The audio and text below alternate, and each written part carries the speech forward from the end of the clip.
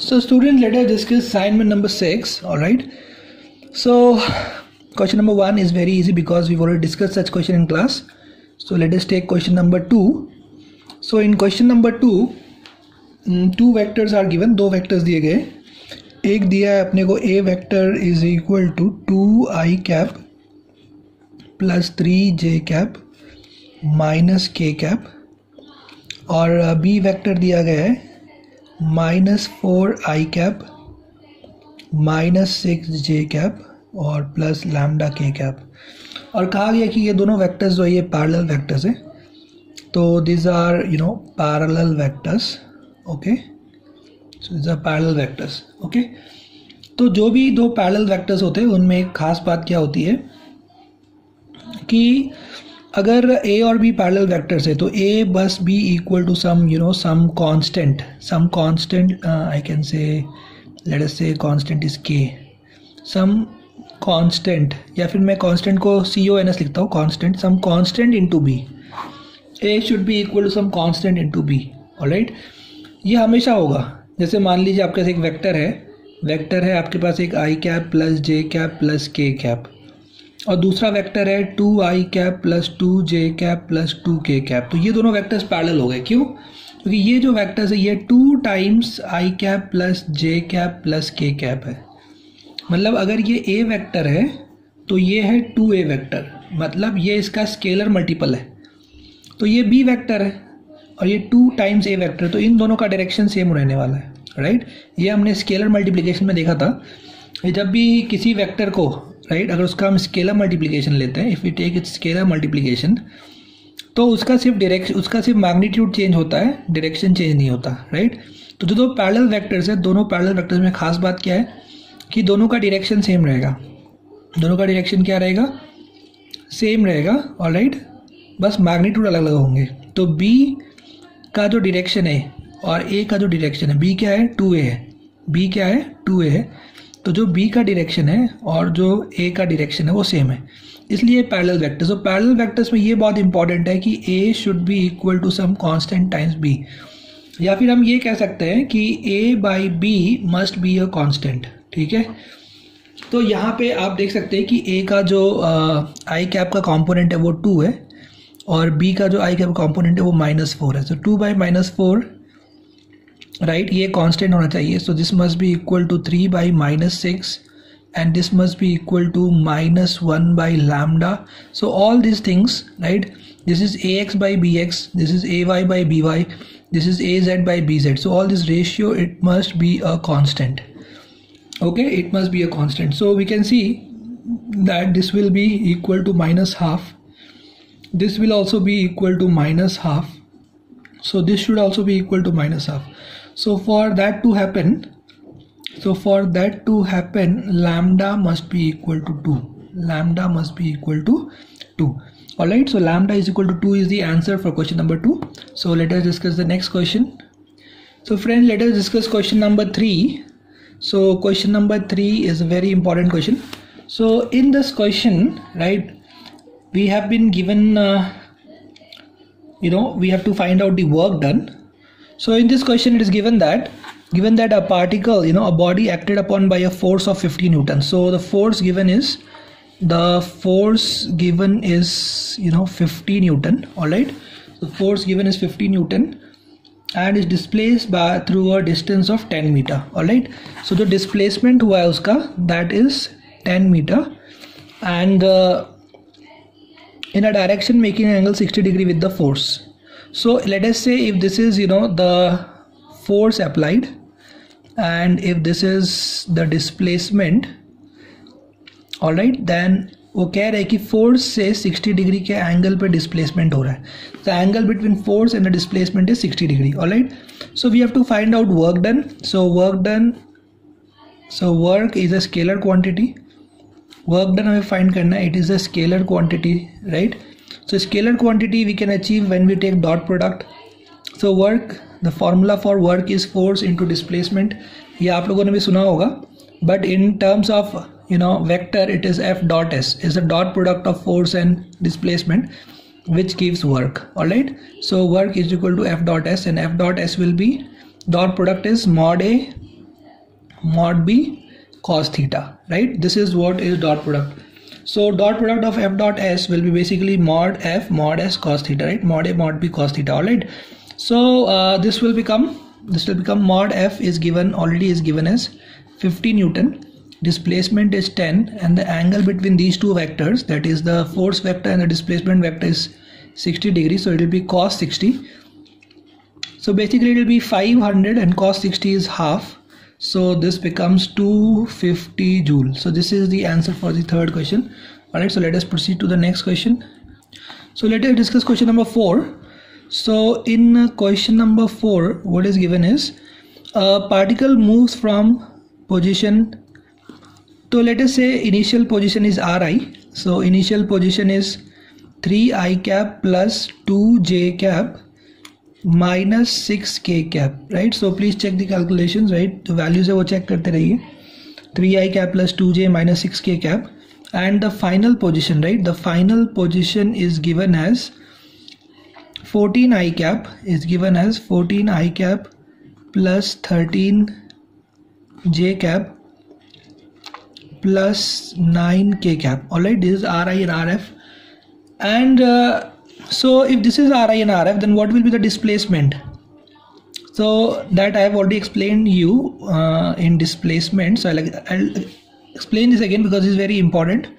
So see here this is you know this is our initial initial position of the particle. And uh, let us say this is our final okay? This is the final position of the particle. So the particle is moving from initial to final. So this is the displacement vector this is the displacement vector right? So using triangle law of vector addition we can say ri plus r delta r vector is equal to rf vector right? So if this is a vector and this is b vector and this is c vector so using triangle law what we can say? We can say a plus b is equal to c all right a plus b is equal to c. So that means we can say we can say the initial vector plus the displacement vector is equal to the final position vector so the displacement vector. This we have already discussed in video lectures but I have already, I'm just explaining you once more so that uh, you know you can remember this you can become more comfortable with this concept. Alright so that displacement vector is always the final position vector minus the initial position vector. Alright the final position vector minus the initial position vector. Alright so the final position vector my friends it is given as uh, 14 i cap plus 13 j cap plus 9 k cap right? This is the final position vector. 14 plus 13 plus 9 and minus the initial. Initial is 3i plus 2j minus 6k okay? So let us subtract it. So this will become 14 minus 3 that will become 11 i cap. 13 minus 2 will become 11 again. So 11 j cap. And this is 9 minus and minus plus so 9 plus 6 will become 15k so this will become 15k cap okay? So this is the displacement alright? This is the displacement vector and the force given is so the force given in the question is you know 4 i cap plus j cap plus 3 k cap newton. This is the this is the force given in the question okay? And they're asking us the work done. So again the work done work done is always the dot product of force and displacement because work done is a scalar quantity and the dot product gives us the scalar dot product is basically a scalar product it gives us scalar so force into displacement ka dot product will give us work so let us take the dot product so 4 i cap plus j cap plus 3 k cap right ये हो गया force इसका हमें dot product लेना है 11 I cap plus 11 J cap plus 15 K cap के साथ ठीक है तो आपको मैं याद दिला दूँ कि ए डॉट बी का डॉट प्रोडक्ट क्या होता है? ये हमने ऑलरेडी वीडियो लेक्चर में डिस्कस किया है। राइट ए डॉट बी का डॉट प्रोडक्ट होता है A X B X plus A Y B Y plus A Z B Z और राइट तो यहाँ पे ये ए एक्स है, ये बी एक्स है। तो इलेवन फोर ज़ा फोर्टी फोर फिर आप देख सकते हैं, ये है वहाँ जो ए वाई है वो वन है बी वाई इलेवन है तो प्लस इलेवन ए जेड आप देख सकते हैं, वो थ्री है ए जेड और बी जेड फिफ्टीन है। तो फिफ्टीन थ्री था फोर्टी फाइव तो let's add it right ये हो गया फिफ्टी फाइव ये हो गया फोर्टी फाइव सो दोनों को ऐड करोगे तो ये हो गया हंड्रेड तो hundred joule is the answer all right hundred joule is the answer okay so we have discuss question number till question number four let's go ahead let add discuss question number five in question number five it is given that you know A plus B A plus B is perpendicular to A minus B so if two vectors so a plus b is a new vector let us say c vector and a minus v is a new vector let us say d vector. So bol rahe c vector is perpendicular to d vector all right so if c is perpendicular to d then the dot product of c and d must be 0 right? Because dot product will be c d cos theta. Theta is 90 okay i'll write it here. So that is not visible. So c dot D will become mod C mod D cos of theta and theta is 90 degree right? The angle between C and D is how much? Is the 90 degree. So this will become 0 so the product of A plus B and A minus B must be 0 alright? So in place of C I'll write A plus B. So it is A plus B dot and place of d I'll write a minus b. So a minus b. So this dot product must be 0 alright? So a dot a will be a square right then a b will be minus a dot b and then b dot a will be plus b dot a and then b and minus b ka dot product will be minus b square right? A dot a will be mod a mod a cos 0 that's why a square and then a dot b will become minus a dot b then b dot a will become b dot a and then b dot b will become b mod b mod b cos 0 so b squared so this has to be 0 now these two will be cancelled out alright because a dot b is equal to b dot a इसमें minus sign है इसमें plus sign है so these two will be cancelled out so we'll have we'll have a square minus b square equal to 0 so we'll have a square equal to b square so we'll have a equal to b right so the ratio of a and b will be 1 so A by B is going to be equal to 1. So 1 is the answer. Alright, so let us go to the next question. So in question number 6, we have to find the triple product. So triple product means it is given that A dot B cross A. This is what we have to find out. So uh, first I'll try to explain you what is this B cross A. Alright. So first we'll try to understand this. So let us take this as C. Okay. So now we have C is equal to B cross A okay c is equal to b cross a so first let us understand that uh, b cross a is a cross product. This is the cross product of of b and a right? Okay so we have already discussed that if we have two vectors let us say this is b okay and uh, this is a. So b cross a will be this the resultant and it will be perpendicular to a it will be perpendicular to b. So if this is c vector right the resultant c vector so we can see that the resultant of a cross b right whenever we take cross product we have already discussed this in the cross product video right that uh, a और b a और b का cross product लेके जो resultant आएगा ये जो resultant आएगा right this resultant will be perpendicular to A so this will be perpendicular to A and as well as this will be perpendicular to B. So this will be perpendicular to both. So the cross product right of A B will be perpendicular to both A A B right तो ए cross B का cross product लेने के बाद एक resultant vector आएगा because it's a vector product ये एक vector product है तो इसका रिज़ल्ट क्या आएगा? इसका रिज़ल्ट एक वेक्टर आएगा, ठीक है? और जो वेक्टर है, वो वेक्टर दोनों के परपेंडिकुलर होगा, वो ए के और बी के दोनों के परपेंडिकुलर मतलब मतलब ये जो एक्सप्रेशन आप देख रहे हो right A dot B cross A तो A dot B cross A को हम लिख देंगे ए डॉट सी राइट हमने बी क्रॉस ए को सी लिखा है। और ये जो सी है, ये ए के परपेंडिकुलर है। देखिए आप, ये सी जो है, ये ए के परपेंडिकुलर ये सी जो है बी के भी परपेंडिकुलर है। तो जब परपेंडिकुलर है तो क्या होगा? तो आप लिखोगे मॉड ए मॉड सी और कॉस नाइन्टी। ठीक है? Cos theta cos ninety dot product तो ये टर्म ज़ीरो हो जाएगा। ये टर्म क्या हो जाएगा? ज़ीरो तो इसका आंसर हो जाएगा ज़ीरो तो बहुत इंपॉर्टेंट सवाल है, ठीक है? इसको ध्यान से आप लोग करिए। Let's go to the next let's discuss question number seven so as you know that you know we have already discussed we have already discussed in the uh, vector product what we have discussed that a cross b is equal to minus b cross a this we have discussed in detail right ऐसा क्यों होता है क्योंकि a cross b का जो direction है वो अगर ऊपर आता है एन कैप तो b क्रॉस a का डायरेक्शन नीचे आता है माइनस एन कैप तो ये हमने वीडियो लेक्चर में डिटेल में डिस्कस किया है तो आपको वीडियो लेक्चर्स अच्छे से देखने होंगे, उसके नोट्स बनाने होंगे तो कन्फ्यूज़न नहीं होगा। नहीं तो बार बार बच्चे मुझे जो है इस सॉल्यूशन के भी बीच बीच के सवाल पूछते, सर, ये कैसे बोला आपने? अब ये कैसे बोला? तो ये वीडियो लेक्चर में बताया है तो उसको आपको ध्यान से देखना पड़ेगा, पढ़ना पड़ेगा। हम बार बार अगर वो चीज़ बताएँगे तो बहुत टाइम लगेगा, ठीक है? लेकिन फिर भी मैं एक बता देता हूँ कि ए क्रॉस बी क्या होता है? ए क्रॉस बी होता है A B sine theta N cap और बी क्रॉस ए क्या होता है? वो होता है B A sine theta minus N cap तो ये दोनों डिरेक्शन अलग हैं, ठीक है? तो ये दोनों सेम कब होंगे? जब तुम आगे माइनस लगा दोगे तो ये सेम हो जाए इसलिए A cross B is equal to minus B cross A ठीक है? तो अभी ये बराबर कब हो सकता है? ये बराबर तभी हो सकता है जब थीटा ज़ीरो हो जाए। जब थीटा ज़ीरो हो जाए या पाई हो जाए, तब क्या होगा? तब साइन थीटा ज़ीरो हो जाएगा। और साइन थीटा ज़ीरो मतलब ये टर्म ज़ीरो और ये टर्म ज़ीरो तो तभी वो बराबर हो सकता है अदरवाइज़ वो बराबर नहीं हो सकता। ठीक है, वो कभी बराबर नहीं होता A cross B is never equal to never equal to B cross A A cross B is always equal to minus of B cross A ठीक है? A cross B is always equal to minus of B cross A right तो ये बहुत important है। A cross B is never equal to B cross A but if A cross B is equal to B cross A that is possible only when theta is zero और pi right so that has to be clearly understood right so so only when theta is 0 or pi, at that time, we can say that a cross b will be equal to b cross a.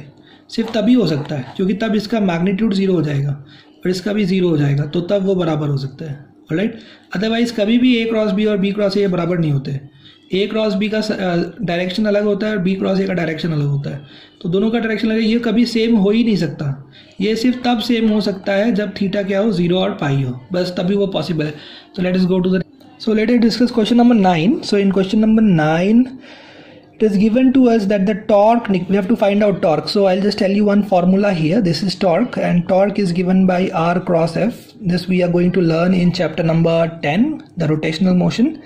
So in rotational motion we are going to discuss this formula. Right now you can just remember this. You can memorize this formula the torque is given by the cross product of r and f. So you just memorize it right now. All right? You don't have any other option so you have to memorize it. So r cross f and uh, in this you know f is given and r is also given right so you can see that in the question r is given as 3 i cap plus 2 j cap plus 3 k cap and uh, force is given as 2 i cap minus 3 j cap plus 4 k cap alright so we have to take the cross product so so, मैंने आपको सिखाया है video lectures में कि कैसे लेना है आपको एक डिटर्मिनेंट बनाना है राइट, फिर आई जे के लिखना है और इसके जो वैल्यूज़ हैं, पहले आर का लिखो राइट पहले आर का, फिर एफ़ का, तब आंसर सही आएगा। अगर आपने एफ़ क्रॉस आर कर दिया तो आंसर नेगेटिव में आ जाएगा। तो इसको एफ़ क्रॉस आर मत लिखना। Don't use F cross R right you can not use F cross R don't use F cross R okay use R cross F क्योंकि उसका फॉर्मूला आर क्रॉस एफ़ ही है। If use F cross R magnitude same आएगा, लेकिन direction लगाएगा, ठीक है? So that be wrong so, right here 3 2 3 and then this will be 2 minus 3 4 so, let us expand. आपको पता है, पहले आई कैप के लिए एक्सपेंड करेंगे। तो जब आई कैप लेंगे तो आई कैप का रो और आई कैप का कॉलम छोड़ देंगे तो ये बचेगा टू फोर ज़ा eight right so two four ज़ा eight minus minus three into three यानी माइनस नाइन तो eight minus of minus nine then we have to take minus because जैसे मैंने बताया आपको, ये प्लस ये माइनस ये प्लस इस तरह से लेते हैं डिटर्मिनेंट्स में। ये भी आपको ध्यान रखना है, क्योंकि अभी आपको पूरा डिटर्मिनेंट्स तो नहीं पढ़ा सकते हम लोग तो इसको ध्यान रखिए। तो ये माइनस जे हो गया। अब आपको ये जे का रो और जे का कॉलम छोड़ देना है तो ये होगा थ्री फोर ज़ा ट्वेल्व सो लिख दीजिए डायरेक्टली ट्वेल्व लिख दीजिए थ्री फोर ज़ा ट्वेल्व ओके और फिर माइनस थ्री टू ज़ा सिक्स तो माइनस सिक्स इसके बाद आएगा के कैप के कैप आएगा। और के कैप में आपको ये लेना है। थ्री थ्री ज़ा कितना होगा? Minus nine and minus four मतलब माइनस थर्टीन तो हम डायरेक्टली लिख देते हैं। माइनस थर्टीन ओके तो सब मिला के आ जाएगा eight plus nine seventeen so seventeen I cap और ये हो जाएगा माइनस सिक्स जे कैप और ये हो जाएगा माइनस थर्टीन के कैप और राइट तो आप चेक कर सकते हैं कि आ, कौन सा ऑप्शन इससे मैच हो रहा है तो आप देख सकते हैं बी ऑप्शन मैच हो रहा है राइट बी ऑप्शन में दिया है seventeen I cap minus six J cap और minus thirteen K cap so B option सही है। आप देख सकते हैं वैसा ही एक डी ऑप्शन भी दिया है लेकिन डी ऑप्शन तब आएगा जब आप एफ़ क्रॉस आर करोगे। तो वो गलत हो जाएगा, क्योंकि इसका फॉर्मूला एफ़ क्रॉस आर नहीं है आर क्रॉस एफ़ है। क्योंकि इसका जो डायरेक्शन आता है, वो आर क्रॉस एफ़ से आता है। और एफ़ क्रॉस आर से नहीं आता, क्योंकि आपको पता है ए क्रॉस बी से जो डायरेक्शन आता है तो बी क्रॉस ए से उसका अपोजिट डायरेक्शन आता है। तो ये हमें ध्यान रखना पड़ता है। वेक्टर्स में ये बहुत इंपॉर्टेंट है कि आप किसको पहले ले रहे हो। तो फ़िलहाल आपको बस ये फॉर्मूला याद कर लेना है कि torque is equal to R cross F all right so let's move ahead to the next question let discuss question number ten all right so in question number ten it is given that you know what it is given it is given that that that that c vector is equal to a cross b okay? C vector is equal to a cross b. तो आपको पता है कि अगर you you know know, ये ए vector है ये B vector हमने डिस्कस किया है वीडियोस में तो ए क्रॉस बी ऐसा होगा right this will be A cross B okay वो आपको पता है राइट हैंड थम रूल तो A cross B is the resultant vector resultant को यहाँ पे सी बोला है. तो जो C vector resultant vector is perpendicular to both it is both perpendicular to A and B ठीक है? Is perpendicular A as well as B so we can say that C vector is perpendicular to A C vector is perpendicular to B right और आप A plus B करोगे तो भी ये आएगा, ऐसा आएगा, ये रिजल्टेंट आएगा राइट ए प्लस बी तो obviously C is also perpendicular to A plus B C is also perpendicular to A plus B अगर आपने ए और बी को ऐड किया तो यहाँ पे यहाँ पे जो है, ये पैरेलोग्राम लॉ से राइट जो पैरेलोग्राम लॉ यहाँ पे आप लगाओगे राइट आप पूरा करोगे तो ये डायगोनल होगा रिजल्टेंट राइट ये डायगोनल ए प्लस बी होगा। तो ऑब्वियसली ये जो रिजल्टेंट है सी वेक्टर है C vector is perpendicular to the plane containing A and B इस पूरे प्लेन के परपेंडिकुलर है तो इस प्लेन में कोई भी वेक्टर होगा तो उसके परपेंडिकुलर होगा। मतलब मतलब कि this C vector is also perpendicular to A plus B right लेकिन जो लास्ट ऑप्शन है लास्ट ऑप्शन दिया है कि C vector is perpendicular to A cross B ये गलत है राइट right? ये गलत क्योंकि ए क्रॉस बी खुद ही सी है। ए क्रॉस बी जो है, खुद ही सी है तो सी खुद ही के परपेंडिकुलर कैसे हो सकता है? ए क्रॉस बी जो है, वो खुदा ही सी है तो ये सी वेक्टर सी के परपेंडिकुलर कैसे हो सकता है? नहीं हो सकता है, ठीक है? इसलिए डी ऑप्शन गलत है ऑल राइट चलो let us see the next question so let us discuss question number eleven so question number eleven में क्या दिया है? इसमें दिया है कि एक पार्टिकल जो है, उसका मास दिया है तो उसका मास दिया है एम और कहा है कि is moving with a constant velocity V parallel to the X axis तो उसका जो वेलोसिटी है, वो है वी और वो आई कैप यानी एक्स एक्सिस के अलॉन्ग है सो वी आई कैप हो गया okay in the X Y plane तो एक एक्स वाई प्लेन ड्रॉ कर लेते हैं, ये हो गया एक्स और ये हो गया वाई ठीक है? तो ये हो गया एक्स वाई प्लेन तो इस एक्स वाई प्लेन में एक पार्टिकल इस तरह से मूव कर रहा है, ठीक है?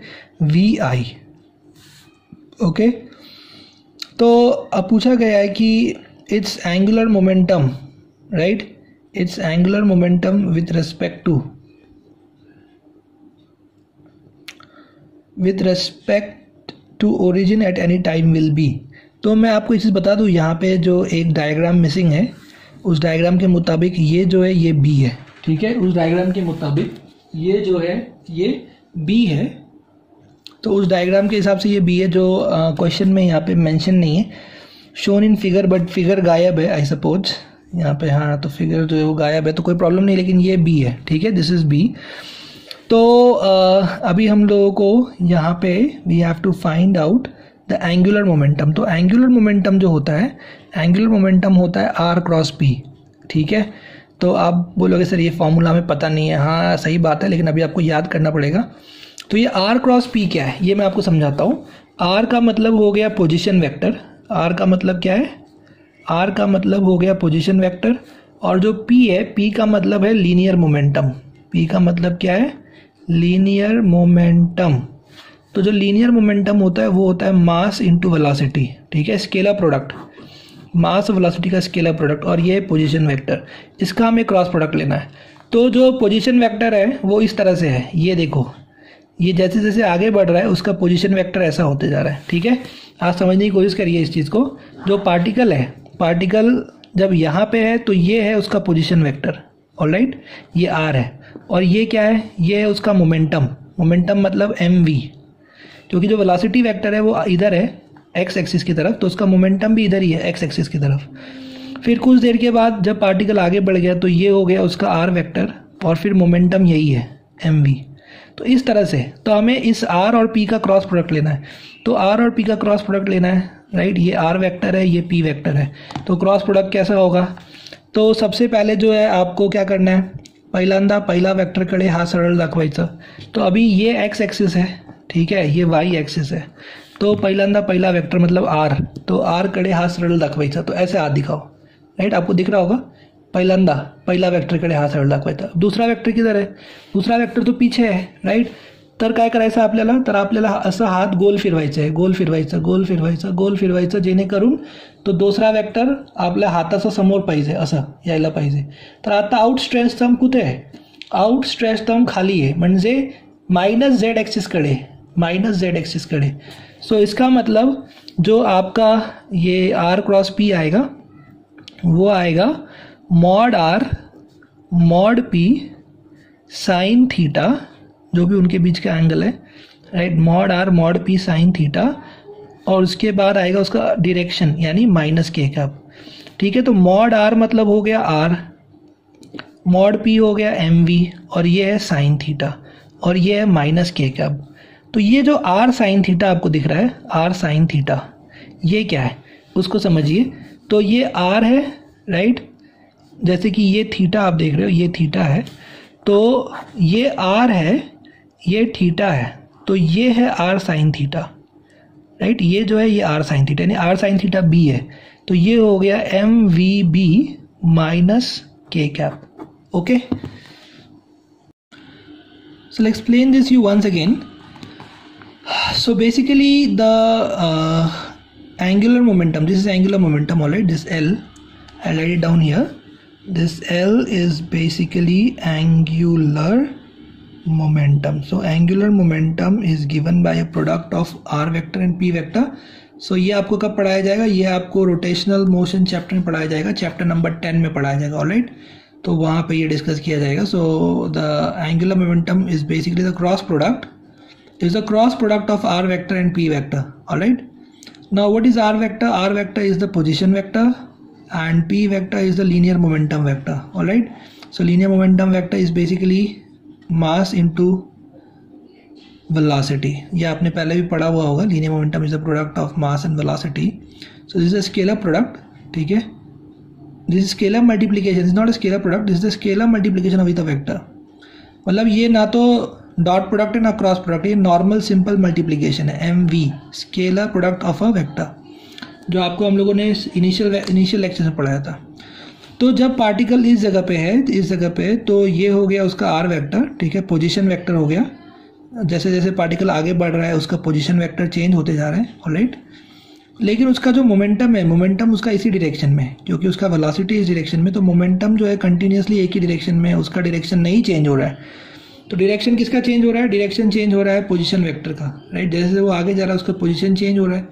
और उसका पोजीशन चेंज हो रहा है तो उसका पोजीशन वेक्टर चेंज हो रहा है ओके तो यहाँ पे जो ये आर वेक्टर है, इसको आगे एक्सटेंड करो, और ये पी वेक्टर है तो इन दोनों के बीच का एंगल है ये थीटा अगर ये थीटा है तो ऑब्वियसली ये भी थीटा होगा राइट ओके तो क्योंकि ये दो पैरल लाइन्स हैं, ये और ये एक्स एक्सिस और ये पैरल है तो अगर ये एंगल थीटा होगा if this angle is you know theta तो फिर ये वाला एंगल भी क्या होगा? ये भी एंगल थीटा होगा okay this angle will also be theta तो वही मैंने यहाँ पे दिखाया कि this is R and this is theta तो अगर आप इसको एक्स मान लो, इसको आप कुछ एक्स मान लो तो साइन थीटा क्या होगा?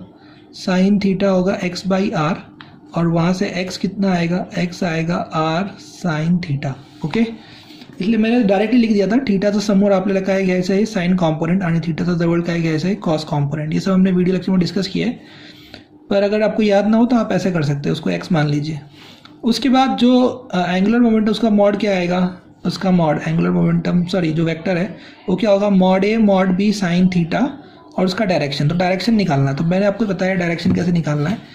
तो जो पहला वेक्टर है फ़र्स्ट वेक्टर है, तर फ़र्स्ट वेक्टर क्या है? आर वेक्टर तर पहिल्यांदा पहिला वेक्टरकडे हा सरळ दाखवायचा असं ओके आता दुसरा वेक्टर कुठे? आहे दुसरा वेक्टर मागे आहे बघा.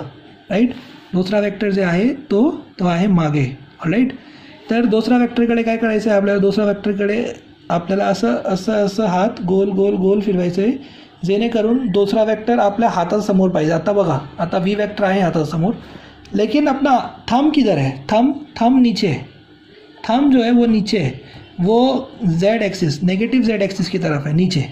ये आप खुद से भी करके देख सकते हैं. यू ट्राई योर सेल्फ ठीक है? आर वेक्टर और ये पी वेक्टर दो वेक्टर आहे पहिल्यांदा पहिल्या वेक्टरकडे हात सरळ दाखवायचं. नंतर हात गोल फिरवायचं. जेणेकरून सेकंड वेक्टर आपल्या हातासमोर यायला पाहिजे आणि या आउट स्ट्रेस थम काय देणार? आपल्याला आउट स्ट्रेस थम आपल्याला देणार रिझल्टंट वेक्टर म्हणजे रिझल्टंट वेक्टर एल वेक्टरचं डिरेक्शन कुठे आहे? नेगेटिव्ह झेड ॲक्सिसकडे म्हणजे मायनस के कॅप तो mod A mod B sine theta sine theta म्हणजे हा थिटा ह्याचं साईन घ्यायचं आहे तर मॉड आरचं व्हॅल्यू आर मॉड पीचं व्हॅल्यू काय येणार? एम व्ही तर एम व्ही टाकलं आहे आणि साईन थिटा तर आता आर साईन थिटा काय?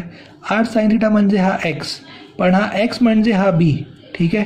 म्हणून आपण काय आर साईन थिटाच्या जागी बी टाकलं आहे तर M V B minus K cap हा झाला आंसर ऑलराइट सो मैंने दो बार एक्सप्लेन किया पूरा। अगर फिर भी कोई डाउट हो तो आप बताइए। We will again discuss all right so this is no problem so let us go to the next question so question number twelve is very easy let us discuss question number thirteen question number thirteen is also very easy तो यहाँ पे दिया गया आपको एक F vector force vector दिया गया कितना दिया है? Four I cap minus three J cap आपसे पूछा गया है कि जो इसके परपेंडिकुलर हो another vector that is perpendicular this forces तो जिसके साथ भी इसका डॉट प्रोडक्ट ज़ीरो आएगा, वो उसके परपेंडिकुलर होगा।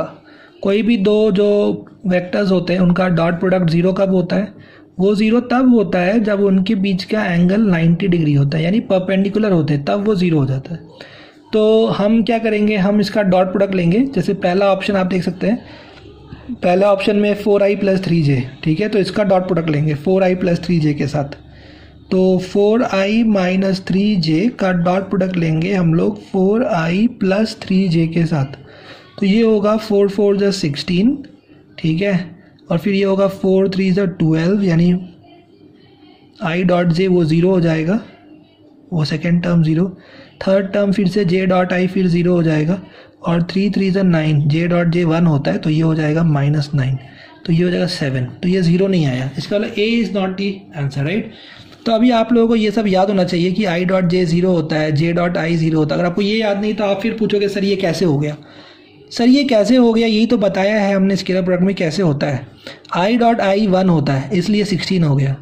आई डॉट जे ज़ीरो होता है, इसलिए ये ज़ीरो हो गया। जे डॉट आई ज़ीरो होता है, इसलिए ज़ीरो हो गया। आप माइनस ज़ीरो लिखो या प्लस ज़ीरो कोई फ़र्क नहीं पड़ता। लेकिन जे डॉट जे वन होता है। तो थ्री इंटू थ्री नाइन और जे डॉट जे वन इसलिए minus nine sixteen minus nine seven समझ में तो आप लोगों को नोट्स अच्छे से पढ़ना है और एक एक चीज़ जो बताई जा रही है, उसको आपको याद करना है कॉन्सेप्ट समझ लेने हैं फॉर्मूले रट लेने हैं। ठीक है, तब आपसे वो सवाल बनेगा तो हर सवाल में आपको एक सवाल नज़र आएगा। ठीक है? हर क्वेश्चन में आपको एक क्वेश्चन दिखेगा, हर आंसर में भी क्वेश्चन दिखेगा ओके अब हम लोग देखते हैं बी ऑप्शन बी ऑप्शन में है यहाँ पे सिक्स आई के साथ डॉट प्रोडक्ट लेना है। तो जब आप four i minus three j का डॉट प्रोडक्ट लोगे डॉट प्रोडक्ट लोगे किसके साथ लोगे?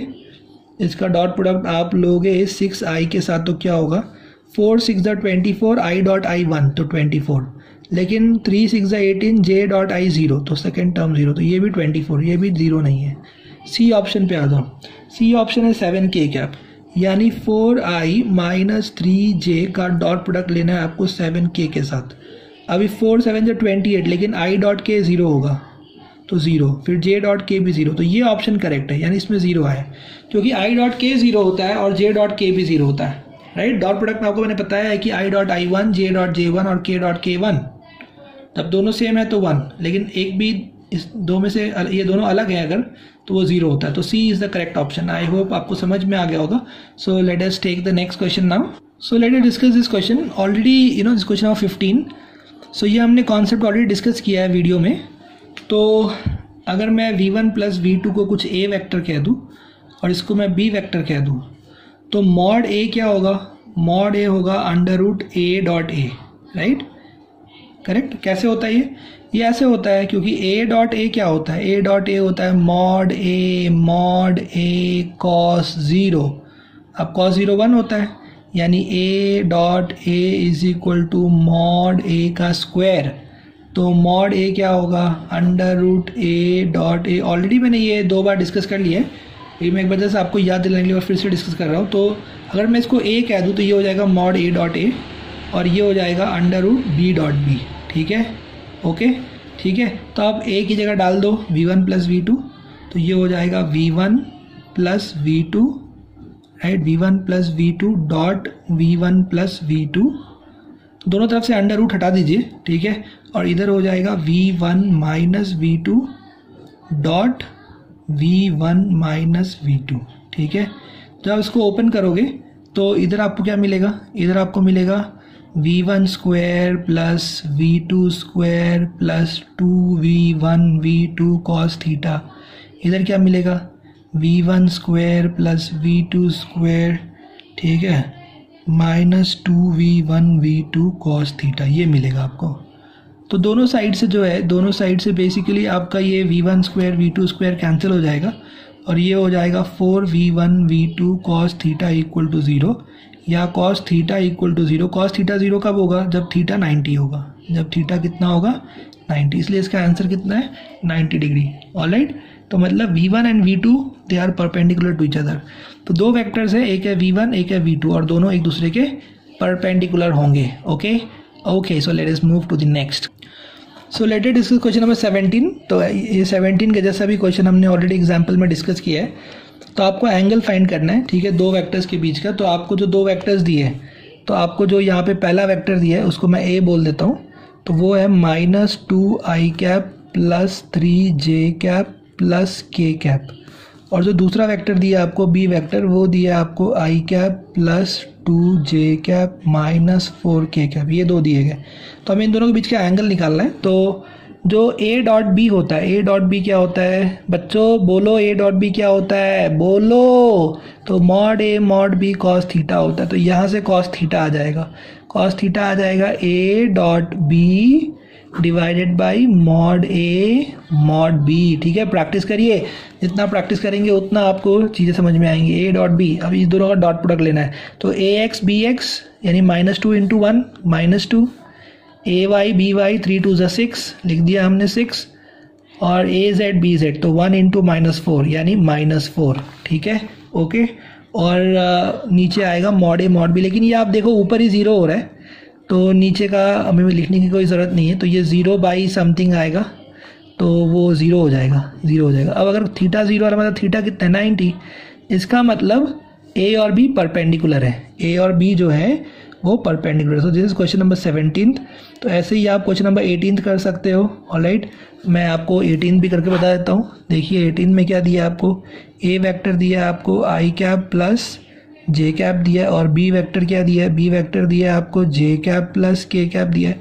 अब आपको दोनों का डॉट प्रोडक्ट लेना है। तो ए डॉट बी क्या होगा? ए डॉट बी होगा a x b x a x one है बी एक्स कुछ नहीं है बी एक्स ज़ीरो है। तो वो हो जाएगा one into zero plus a y कितना है? वन। बी वाई कितना है? वन। तो हो जाएगा one into one.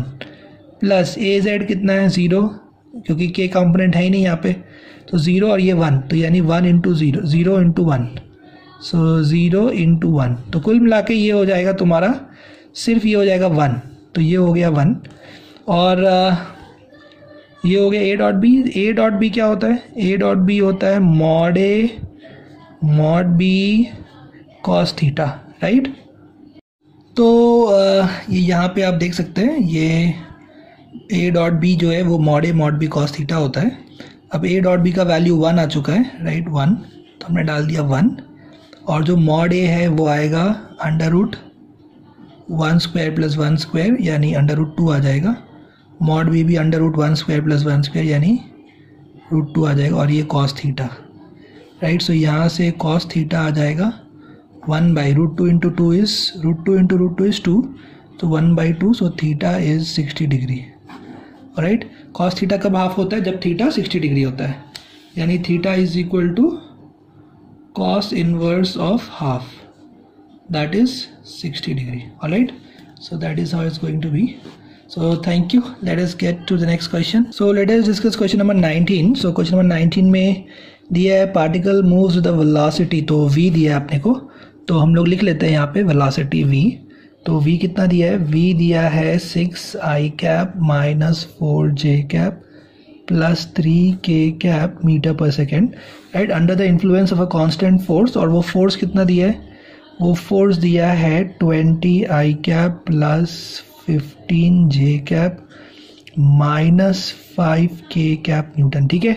अब पूछा गया what is the instantaneous power applied to the particle instantaneous power तो जो पावर होता है, इसका फार्मूला हम लोग डिस्कस करेंगे question number sorry chapter number eight में, जिस चैप्टर का नाम है वर्क एनर्जी एंड पावर तो पावर का एक फार्मूला होता है फोर्स एफ़ डॉट वी यानी फोर्स और sorry power is a scalar quantity so power is scalar quantity तो पावर का जो फॉर्मूला होता है, वो होता है dot product of force and velocity all right so dot product of force and velocity तो डॉट प्रोडक्ट लेना है तो आपको पता है कि ए डॉट बी होता है ए एक्स बी एक्स तो यानी twenty into six that is going to be one twenty उसके बाद minus four into fifteen so minus four into fifteen इसके बाद plus three into minus five so we can just write you know uh, plus 3 into minus 5 so that is going to be 120 minus 15 for the 60 and 3 5 the 15 so 120 minus 75 so that will give us 45 all right so just check the answers check the calculation. So 45 joule per second right? So power ka formula hai power is work upon time right? Power is work upon time rate of work done. So it will be joule per second. So that's the unit for it right? So 45 joule per second. All right so this question number 19 okay so let us see question number 20 question number 20 it is given that uh, p dot q is equal to pq so what is the angle between p and q?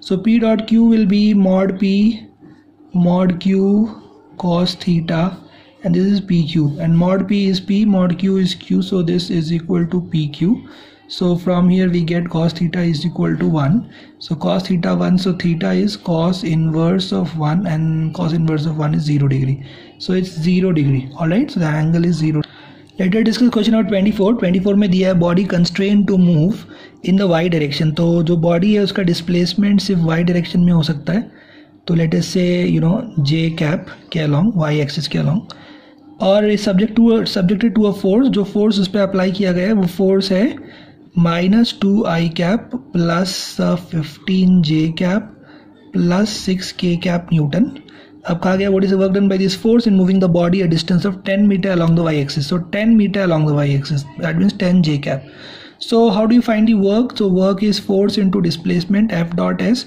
you have to take the dot product so you know that i dot j will be 0 so first term will be 0 j dot j will be 1 so 15 into 10 is 150 so 150 j dot j is 1 so 150 and uh, j dot k is 0 so that will become 0 so it's only 150 joule. All right so the answer is 150 joule. So please try to remember i dot i is 1 j dot j 1 k dot k 1 but i dot j is 0 i dot k is 0 any other combination you know i with j or k j with i or k and k with i or j will be 0 but i dot i is 1 j dot j is 1 k dot k is 1 so please memorize all these things right these are the basic things you should remember all right you should remember so student let us discuss question number 25 all right so question number 25 यहाँ पे दिया गया particle moves in the xy plane under the action of a force f such that the value of its linear momentum is given by so linear momentum जो है इसके आपके दो component दिए गए क्वेश्चन में, मैं इसको लिख देता हूँ p vector is equal to p x vector plus p y vector all right जैसा हम लोगों ने डिस्कस किया था कि a vector is equal to a x vector plus a y vector right ये सब डिस्कस किया था हमने। जब हम डिस्कस कर रहे थे लीनियर क्या डिस्कस कर रहे थे? Resolution of vector in two dimension right resolution of vector two dimension तब देखा था आपने ऐसा तो p is equal to p x vector plus p y vector तो यहाँ पे पी एक्स दिया और पी वाई दिया हुआ है तो उसको लिख दीजिए आप। तो यहाँ पे पी वैक्टर हो जाएगा two cos t i cap और ये हो जाएगा two sine t j cap तो ये जो क्वेश्चन है फ्रेंड्स तो इस क्वेश्चन में प्रॉब्लम क्या है कि इसमें एक कॉन्सेप्ट यूज़ होगा जिसको हम बोलते हैं डेरिवेटिव जो कि हम लोग नेक्स्ट चैप्टर में डिस्कस करने वाले हैं। तो वो यूज़ हो गया, इसलिए ये सवाल आपको टफ जाएगा। लेकिन मैं आपको जस्ट बता देता हूँ, होता क्या है कि जो फोर्स होता है ना, आपने पढ़ा होगा फोर्स होता है rate of change of momentum right आपने ये पढ़ा होगा बचपन में, delta P by delta T जिसको हम लोग D P by D T बोलते हैं। अभी आपको ये नहीं समझ में आएगा, मैं सिर्फ़ बता दे रहा हूँ। ये हम लोग नेक्स्ट चैप्टर में डिस्कस करने वाले हैं। तो force is rate of change of momentum तो जो कॉस तो ये हो जाएगा D by D T of two cos T इसको बस ऐसे एक बार देख लो आप। ये अभी कोई आपके काम का नहीं है, क्योंकि इसमें डेरिवेटिव का यूज़ हो चुका है। ठीक है? तो एक बार देखने के लिए तो टू जो है वो कांस्टेंट है डेरिवेटिव के बाहर आता है। कॉस का डेरिवेटिव होता है माइनस साइन तो वो हो गया मतलब इसको आप अभी क्या करोगे? सिर्फ़ इसको ऐसे ही सुन लो साइन टी आई कैप फिर टू बाहर आएगा और साइन का डेरिवेटिव होगा कॉस टी जे कैप क्योंकि अगला चैप्टर यही है, अगला चैप्टर जो है वो यही है, हम लोग डेरिवेटिव्स ही डिस्कस करने वाले हैं, ठीक है? तो कोई प्रॉब्लम नहीं है। एक बार बस ऐसे ही सुन लीजिए। तो minus two sine T I cap आ चुका है और two cos T J cap आ चुका है। ठीक है? ये कैसे आया? बस ये एक डाउट है। तो ये फॉर्मूला होता है। कॉस का डेरिवेटिव माइनस साइन होता है और साइन का डेरिवेटिव प्लस कॉस होता है। जो हम लोग पढ़ने वाले नेक्स्ट चैप्टर में ऑलराइट तो यहाँ पे आप देख लीजिए। ये फोर्स आ गया, ये पी आ गया। अब आपको निकालना है कि जो एंगल थीटा है, वो कितना होगा दोनों के बीच का? तो आप दोनों का डॉट प्रोडक्ट ले लीजिए राइट एफ़ डॉट पी करिए। जब एफ़ डॉट पी करेंगे तो क्या होगा? तो डॉट प्रोडक्ट मतलब आई डॉट आई वन होगा। तो two cos T right two cos T और टू साइन टी ये हो जाएगा minus four cos T sine T ठीक है तो ये आई का लिया आपने। इसका प्रोडक्ट इसके साथ लिया। अब इसका प्रोडक्ट इसके साथ ज़ीरो हो जाएगा, क्योंकि आई डॉट जे ज़ीरो हो जाएगा। फिर अब इसका प्रोडक्ट लेना है। जे डॉट आई ज़ीरो हो जाएगा, फिर जे डॉट जे वन हो जाएगा। तो ये हो जाएगा two into two four sine T cos T तो ये पूरा ज़ीरो आ गया। ये पूरा क्या आ गया? ज़ीरो। ये ज़ीरो आ गया, इसका मतलब क्या है कि जो mod A, mod B, cos theta है, वो ज़ीरो है। तो ये दोनों टर्म उधर डिवाइड हो जाएँगे, यानी कॉस थीटा ज़ीरो है। कॉस थीटा ज़ीरो कब होता है? जब थीटा नाइन्टी होता है। तो इसका आंसर है नाइन्टी ठीक है? ओके तो इस सवाल में क्या प्रॉब्लम है? बस ये प्रॉब्लम सर ये डेरीवेटिव कैसे हुआ? राइट ये डेरिवेटिव आपने कैसे लिया? तो ये हम लोग डिस्कस करेंगे नेक्स्ट चैप्टर में। फ़िलहाल बस आप ये समझ लीजिए कि इसका आंसर ये आया तो हमने दोनों का जब डॉट प्रोडक्ट लिया तो डॉट प्रोडक्ट ज़ीरो आ गया। ज़ीरो आ गया समझ ये दोनों एक दूसरे के परपेंडिकुलर है। ऑल राइट तो यहाँ पे हमने क्या यूज़ किया है? कॉस का डेरिवेटिव यूज़ किया है हमने साइन और साइन का डेरिवेटिव कॉस अब सवाल ये सर डेरिवेटिव क्या है? सवाल ये है कि डेरिवेटिव क्या है, जो हम अगले चैप्टर में देखेंगे। ठीक है? तो this will be discussed again this will be discussed again okay ये फिर से डिस्कस किया जाएगा. Okay so let us move ahead so let us take question number 26 that's very simple question so question number 26 में आपको दो vector दिए. एक दिया A vector is equal to two I cap plus three J cap और दूसरा vector दिया है आपको I cap plus four J cap क्या पूछा गया? पूछा गया है कि what is the area of the parallelogram represent by this vectors so area of the parallelogram अगर आपको निकालना है तो दैट्स वेरी सिंपल आपको सिखाया हमने क्रॉस प्रोडक्ट में कि स्टेप नंबर वन दोनों का क्रॉस प्रोडक्ट लो, ठीक है? क्रॉस प्रोडक्ट लेने के बाद ये स्टेप वन है, फिर उसका मॉड फाइंड आउट कर लो दैट्स ऑल राइट तो पहले क्रॉस प्रोडक्ट फाइंड करते हैं तो उसके लिए आप ये डिटर्मिनेंट यूज़ करोगे तो ये हो गया आई ये हो गया जे ये हो गया के ये हो गया टू थ्री ज़ीरो क्योंकि यहाँ पे के कॉम्पोनेंट नहीं है ऑलराइट और सेकेंड वाले में भी के कॉम्पोनेंट नहीं है तो वन फोर ज़ीरो ओके तो जब आप आई के लिए लोगे तो आपका three into zero minus four into zero ये ज़ीरो हो जाएगा। फिर जे के लिए लोगे two into zero one into zero ये भी ज़ीरो हो जाएगा। फिर के के लिए लोगे तो होगा two four are eight minus three one are three तो ये हो जाएगा थ्री मतलब कुल मिला के ये आएगा फाइव के क्या अब स्टेप नंबर टू क्या था? वो था कि आपको इसका मॉड लेना था। तो ए क्रॉस बी का मॉड तो ए क्रॉस बी का मॉड क्या आएगा? वो फाइव आ जाएगा। So five is going to be the answer so answer is five units alright so this is the answer for this question this question number twenty six okay तो students अब देखते question number twenty seven तो twenty seven में दिया गया कि vector F one is along X axis तो F one जो है, मान लेते कुछ एक्स आई कैप होगा। I cap is a unit vector I cap is a unit vector along X axis तो ये हो जाएगा X I cap so that's f1 vector.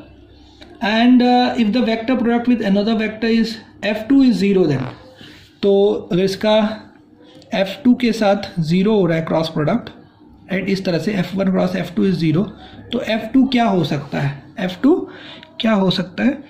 तो आपको ये समझना पड़ेगा कि i cross i i cross i क्या होता है?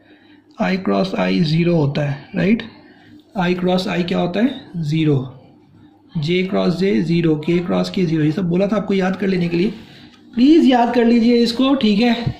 तो जो जो हम बता रहे हैं, वो चीज़ें आपको याद कर लेनी है, तभी आप अच्छे से उसको क्वेश्चन को सॉल्व कर सकते हैं। आई क्रॉस आई ज़ीरो है।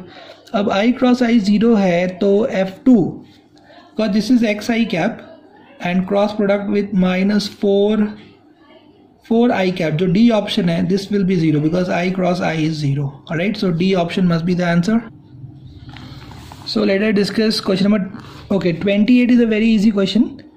Uh, let us discuss you know question number 29 okay 29 is also very easy. That is you have to find the angle between a cross b and b cross a. So first of all you should know that A cross B is going to give you a new vector C ठीक है? And B cross A is going to give you a new vector D all right A cross B मतलब जो C है, वो क्या है? वो है मॉड ए मॉड बी यानी ए बी साइन थीटा इसका डिरेक्शन अगर एन कैप होगा तो बी क्रॉस ए का क्या होगा?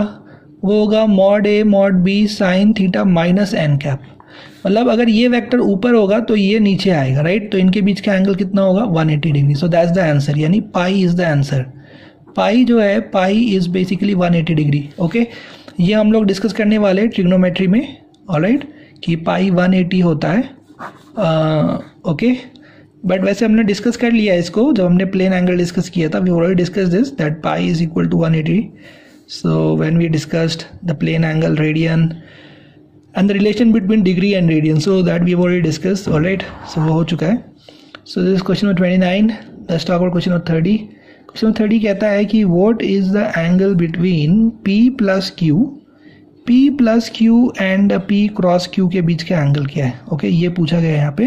पी प्लस क्यू और पी क्रॉस क्यू के बीच का एंगल क्या है? So let us discuss that so student this question is a very tricky question alright तो P plus Q let us say if this is P vector and this is Q vector so what will be P plus Q तो आपको पता है ये tell से tail जुड़े हुए तो हम लोग पैरेललोग्राम लॉ लगाएँगे राइट यहाँ से हम लोग एक पैरेललोग्राम यू नो कंप्लीट करेंगे। और इस पैरेललोग्राम का जो ये डायगोनल है तो ये डायगोनल होगा आपका पी प्लस क्यू ये जो डायगोनल है, ये क्या होगा?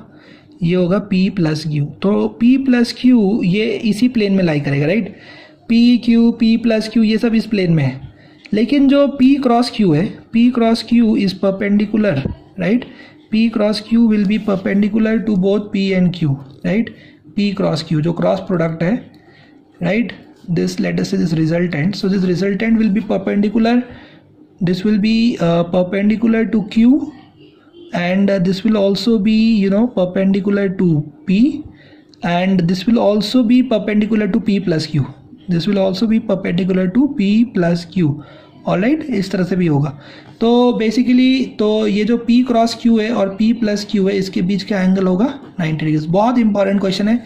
इसको आप ध्यान से देखिए, समझिए राइट मैंने आपको समझा दिया है कि ये p है, ये q है, दोनों का रिजल्टेंट p प्लस क्यू इधर इस प्लेन में लाई करेगा। और जो p क्रॉस q है, वो हमेशा p के परपेंडिकुलर होता है या q के परपेंडिकुलर होता है या वो उस प्लेन के परपेंडिकुलर होता है जिसमें p और q होता है। तो बेसिकली ये p प्लस क्यू के भी परपेंडिकुलर होगा। तो ये जो p क्रॉस q है p क्रॉस q ये p प्लस क्यू के भी क्या होगा? परपेंडिकुलर होगा ठीक है? तो this point is very clear so angle will be 90 degree so this question number 30 so uh, we have discussed till question number 30 in this video. Now we will discuss from question number 31 to 58 in the next video all right तो पहले आप लोग यहाँ तक के doubts clear कर लीजिए okay till then bye bye